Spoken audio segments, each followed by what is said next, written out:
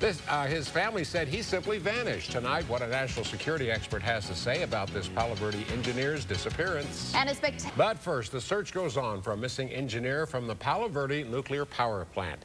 Now, we are still asking if his security clearance at the country's largest nuclear facility had anything to do with his disappearance. Neil Hardy went missing Saturday night. CBS 5's Donna Rossi has the very latest now.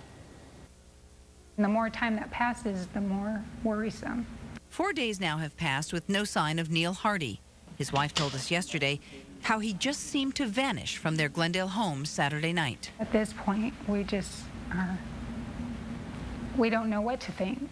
Many wonder if Hardy's job and security clearance at Palo Verde Nuclear Generating Station plays into his disappearance. Security consultant Tim Zehring says that's highly unlikely. I don't think that this person was kidnapped because of any information that he might be able to garner from Palo Verde. Palo Verde deactivated Hardy's ID badge and his access to plant computers. They are cooperating with police, but insist Hardy's disappearance has nothing to do with his job. Law enforcement and Palo Verde's are both doing things behind the scenes that they're not going to talk about. The case is being handled as a simple missing persons case by Glendale Police.